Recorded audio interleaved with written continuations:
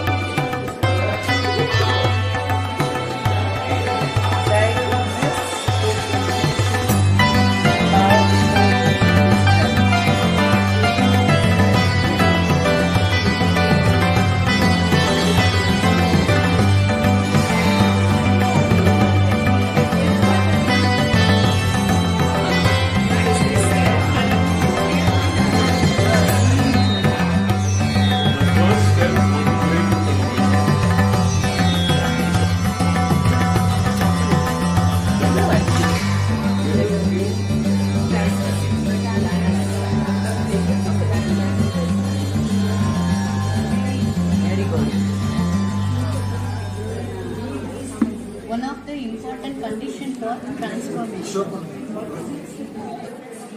Artistic taste.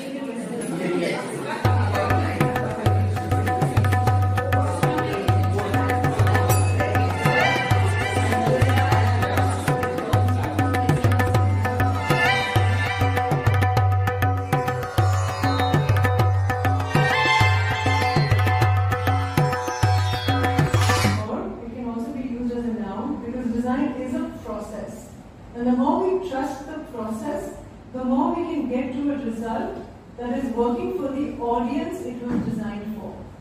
Very different from an artist approach. An artist doesn't really have to care about the audience because it is this inner journey that is being presented in the most authentic way.